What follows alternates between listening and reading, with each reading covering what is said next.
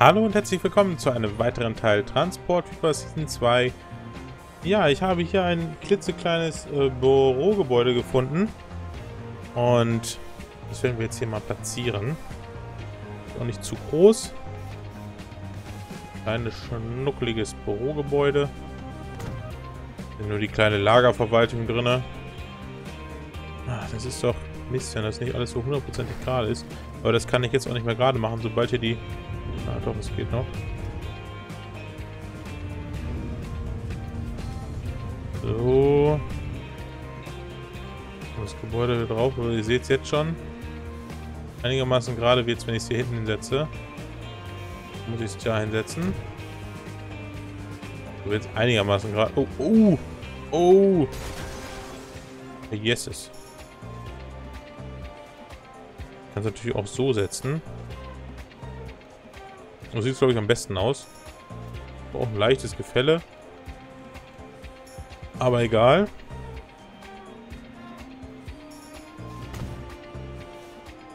So passt es. Ja, das können wir so lassen.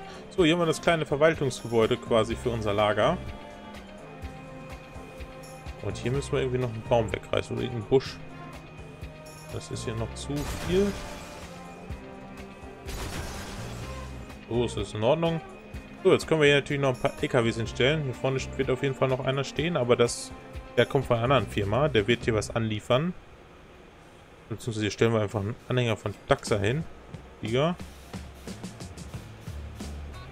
So, einer von Daxa. Und dann würde ich sagen, kommen jetzt hier noch die Myos, Myos. Jetzt wiederfinde. Wie sind's? Kann ich jetzt dann hier wieder so schön drapieren. Zentrallager. Oder Außenlager. Je nachdem. Schön dicht beieinander. So. Hier fehlt mal einer. Dann können wir eigentlich den auch wieder wegreißen. Und da setze ich dann einen mit Zugmaschine hin. Oder ich tue so, als wenn der hier gerade... Das ist schwierig hier mit dem Einpacken, weil eigentlich würde die Zugmaschine jetzt eingeknickt sein. Man würde hier schon rumkommen. Ähm, du kannst ja von hier so rückwärts reinfahren. Das könnt ihr vielleicht andeuten. Aber die Zugmaschine kannst du halt nicht einknicken.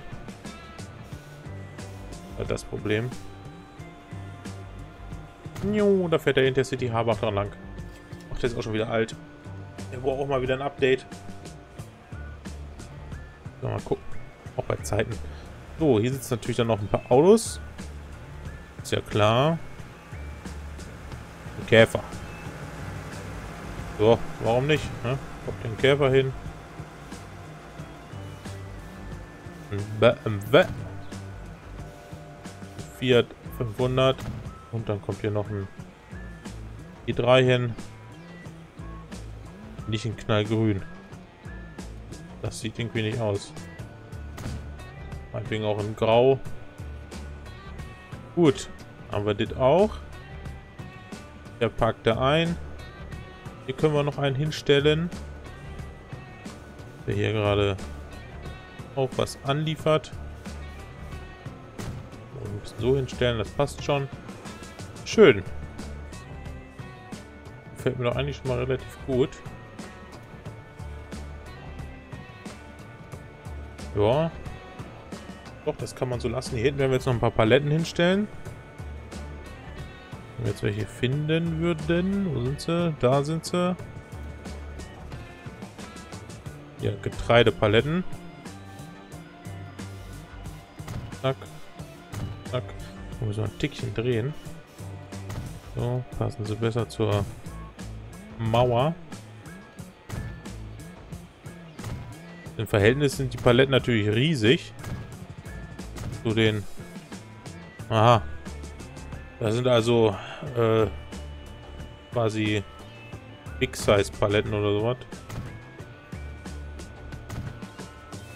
Man würde quasi jetzt nur noch fünf Paletten auf den Auflieger kriegen.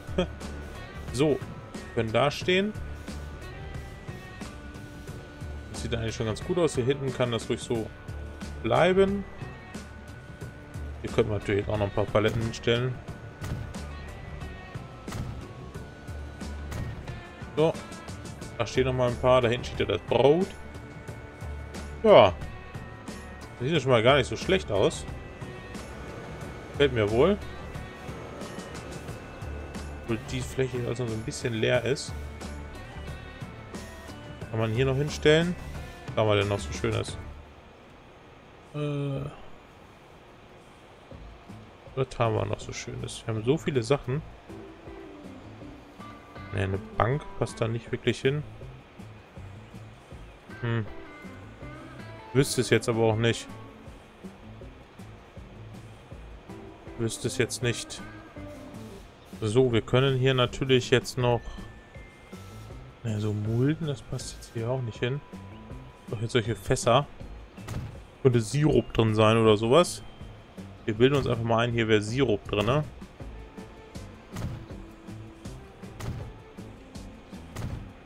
So, was haben wir noch? Nee, nee, nee. Hier eine Mülltonne noch hin. Dann können wir, wie sagen, stellen wir hier noch ein paar Menschen hin. Boah, mir ist so warm, ey. Ist schon wieder so eine Hitze hier. Zum Kotzen. Mein Rechner geht, der ist nicht so warm. So. Ähm, ja, stellen wir hier zwei hin, die sich hier unterhalten. Jo. Der Big Boss wandert hier gerade mitten über den Platz. Die passt jetzt nicht gerade, die Frau.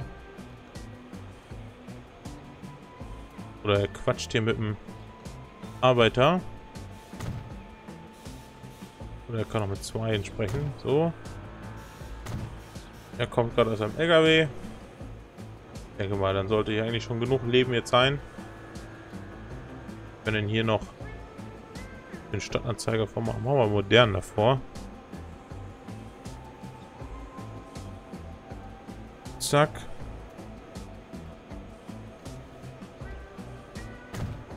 So, was steht denn hier drauf? Irgendeine Katze. Irgendeine Frau mit Silikontitten. Der Papst knutscht irgendwen. McDonalds Werbung. Ja, das andere beide kann ich nicht erkennen. Naja, ist ja auch egal. So. Gut, haben wir das auch. Würde ich sagen, machen wir hier Wald hin. Unseren bekannten Wald. So.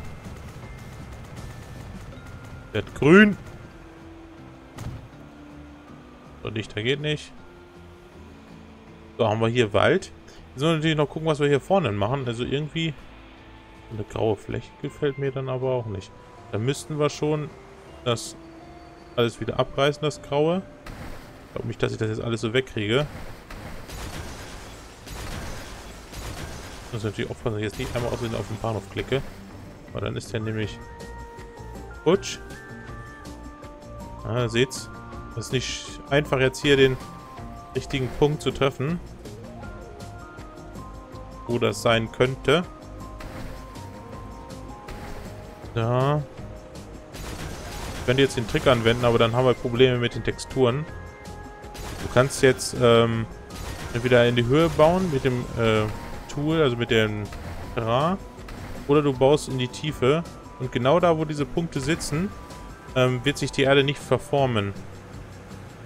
Dann kannst du nachher ganz einfach sehen, wo die sind. Versuch's mal. Wir bauen jetzt hier nach unten. So, hier vorne ist einer. Hier oben ist einer. So, jetzt wisst ihr, hier ist einer drauf, da ist einer, hier. Ist wohl noch einer. Doch nicht. So, jetzt haben wir natürlich das Problem, ob wir das jetzt wieder so gerade kriegen. Ja, es geht noch, aber das... Müssen mit den Schienen aufpassen, dass es darunter nicht zu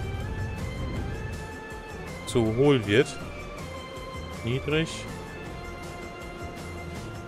So kann man das mal so ein bisschen eingrenzen. So sieht man dann ähm, am besten, wo die Dinger sind. Das ist nicht ganz gereicht.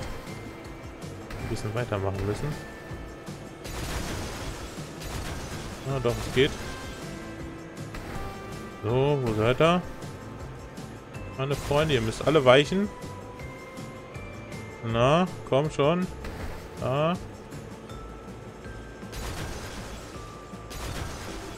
Aber ein kleines bisschen ist, das ist nicht schlimm. Komm schon. Der Letzte. Wo bist du? Da. So.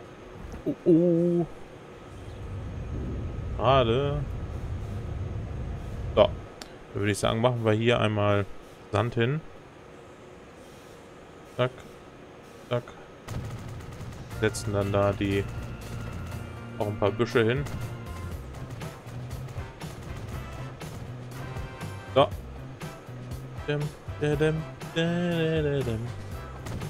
Paar vereinzelte, dass es nicht zu viel wird.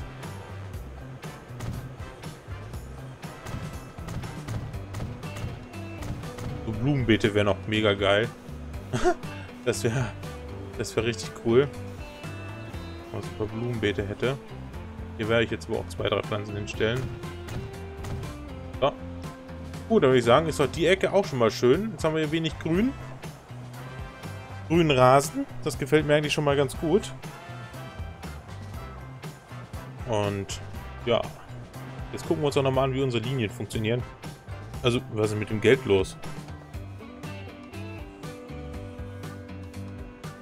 Ja. Na, wir machen Plus. Das liegt aber an einem kleinen Trick, den ich ähm, angewandt habe. Ich habe mir einige Mods vorgenommen und ich habe da in den Configs was geändert. Bin ganz ehrlich. Ich habe die Betriebskosten runtergesetzt. Dass ich äh, mehr, quasi mehr Dekozüge habe. Das sind ja dann quasi Fake-Züge, wenn die nur noch 1000, 1000 Euro kosten im Monat. Beziehungsweise im Jahr. Deswegen sind natürlich jetzt die Kosten locker um 200 Millionen gesunken. Ich habe allerdings auch die Züge modernisiert, alle wieder. Und ja, ich denke mal, daran wird das jetzt zum größten Teil liegen. Warum fährt der Zug jetzt nicht eigentlich schon los? Der könnte hier locker schon hinfahren. Welchen Gleis kommt der denn? So. Auf mein Freund. Müsstest du eigentlich losfahren können, ne? Ja. Gut, fährt der los.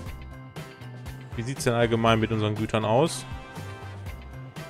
Ganz gut. Äh, Dattenberg 34, 78, 59, 57. Okay. Und hier haben wir Güter Ost 7, 50, 55, äh, 55. Jetzt 13, 88, 149, okay. Also die Züge haben auf jeden Fall auch mal gut was zum Fahren. Wie sieht es mit unseren Werken aus? 1500. Oh, was ist denn hier los? Ja, mehr Kunststoff anzuliefern. Kunststoff, der ganze Kunststoff steht jetzt hier unten wieder. Und da steht viel Kunststoff. Hier über Kunststoff hätten wir eigentlich genug. Naja, egal. Passt schon. Unsere Chap-Chap-Fabrik funktioniert super. Hat aber komischerweise wieder nichts da. Und wir haben hier 170 Getreide knapp. Gut. Dann würde ich mal sagen, machen wir mal dieses Gebiet hier auch noch gerade. Das gefällt mir nämlich so auch noch nicht. Hier kommt jetzt auch noch ein bisschen Sand hin. Hier haben wir Steine, ne? Es ist auch Sand. Hier hinten ist aber der Eingang. Und jetzt Stein hin. Ich bin am Strand lang quasi. Strand lassen wir mal so verschwinden. Und ab hier geht es dann mit Sand weiter. So, dass alles ein bisschen schöner wird hier. Oh, genau einen zu viel. So, bist du? Ah. So. Das kann weg. Der muss weg. Die beiden müssen weg. Und dann können wir jetzt hier... Eigentlich könnten wir jetzt hier so ein... Ja, brauchen wir hier unten einen Zaun ziehen. Müssen wir hier einen Zaun ziehen? Ich würde sagen, wenn wir hier mit dem Wald anfangen, dann reicht das schon fast. Brauchen wir dann nicht großartig noch einen Zaun ziehen. Zack. Mal hier außen lang.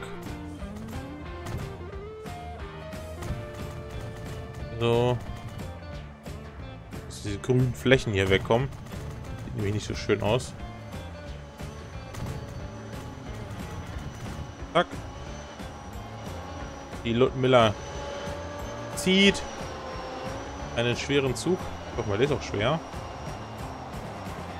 731 Tonnen. Das ist schon eine Menge. Hat auf jeden Fall gut was zu tun. Einigermaßen gut beladen. Ja. So, jetzt müssen wir natürlich dann hier auch noch irgendwas machen. Natürlich jetzt hier schon... Das Wasser kommt ja quasi bis vor der Haustür, ne? Wenn wir das denn jetzt am schönsten...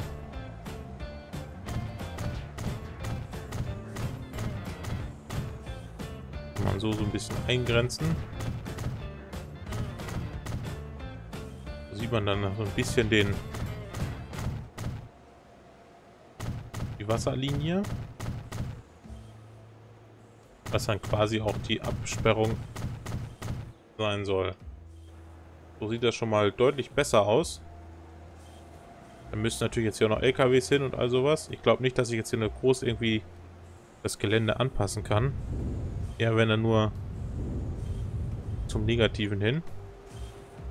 Deswegen bleibt das jetzt erstmal so. Müssen wir dann mal gucken. Das werde ich dann aber im Offscreen machen. Hier irgendwie noch ein paar kleine, kleine, hinstellen. So. Wir hatten jetzt letztens unsere andere Linie hier unsere Güterlinie. Wo sind denn schon wieder die Züge? Ach, da fährt einer. Der hat auch noch gut was dabei. Finanzen, ja. Plus machen sie.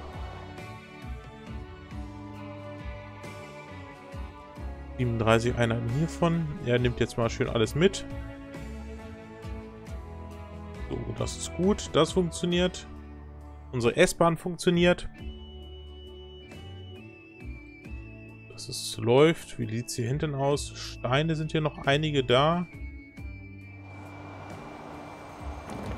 Aber er produziert ja auch immer noch fleißig.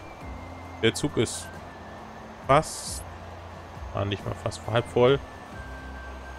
Aber immerhin, ob hier noch so viel steht, aber das kann er nicht mitnehmen. Ja, und hier oben wird auch gut produziert. Und dann würde ich sagen, dass wir in einer der nächsten Folgen jetzt irgendwann langsam mal anfangen, unsere neue Linie zu bauen. Mit unserem TG Hürth, mit unserem Zukunftszug. Wir sind ja schließlich auch jetzt schon bald im Jahr 2200 angekommen. Und dann ist es auch langsam mal Zeit, hier unsere neue Strecke zu bauen. Jetzt aber gerade noch machen können, ist hier einmal das Flughafenvorfeld äh, noch irgendwie zu bebauen. Mit ein paar Büschen. Oder gibt es da von diesem Flughafen-Set noch so ein paar geile ähm, Light. Nee. Da kann ich so Goldtreppe und so Windsack und sowas hinstellen. Lichtmasten. Nee. Na gut, dann würde ich sagen, machen wir hier quasi in diesem Bereich nur so Kleinkram hin paar Steine kommen da gleich noch hin. Und links und rechts daneben können wir da so ein bisschen größer auffahren. Dass dann die Flugzeuge auch nicht in die Bäume fliegen. Das wäre nämlich ärgerlich. Da gibt es Tode und Verletzte. Tode und Verletzte wollen wir hier nicht auf unserer Bahn. So. Also hier ist der Zug, äh, das, der Zug, das Flugzeug schon so viel an Höhe gewonnen. Ja, wir können ja schon hier quasi fast Ruhe hinbauen. Aber falls wir mal andersrum fliegen und hier im Landeanflug sind, dann ist das, glaube ich, ganz angenehm. So, hier so ein paar Steine hin. Einfach hier so random reinklicken. So. Nochmal ein paar Büsche, die man dann da so rumsetzen kann. So. Dann sieht der Boden auch nicht ganz so hell aus. Hier oben geht noch so ein bisschen was. Hier an der Strecke. So, das lassen wir mal noch der Stadt. Genau wie diesen Mittelweg hier. Da könnte man auch ein bisschen was machen. Aber nicht zu viel. So. Lass uns mal bis da gehen. Hier noch ein bisschen Kleinkram zwischensetzen. An der Strecke lang. Oh. Sieht eigentlich ganz schick aus, würde ich sagen. Setzen wir uns mal hier in unseren Zug. Der kommt gerade. Genießen einmal die Fahrt. An dem Flughafen vorbei. Mal gucken, was man jetzt alles vom Flughafen noch sieht. Ist ja schon gut abgeschirmt, aber hier vorne müsste sich jetzt eigentlich ein bisschen lichten. Sonst werden nicht noch ein bisschen ein paar Bäume wegkommen. Nee, doch, hier lichtet sich das ein bisschen. Hier ist offene Fläche. Man sieht links die Flugzeug, ist gerade einer gestartet. Ja, und eine schöne gerade Strecke. Eine der wenigen hier. Und dann geht es jetzt gleich aber im Tunnel. Dann würde ich sagen, sind wir auch schon am Ende der heutigen Folge angekommen. Ja, in der nächsten Folge gucken wir mal, ob wir die Strecke noch weiterbauen. Und wenn es euch gefallen hat, lasst doch bitte einen Daumen und Abo da. Und dann sehen wir uns in der nächsten Folge wieder. Bis denn. Tschüss.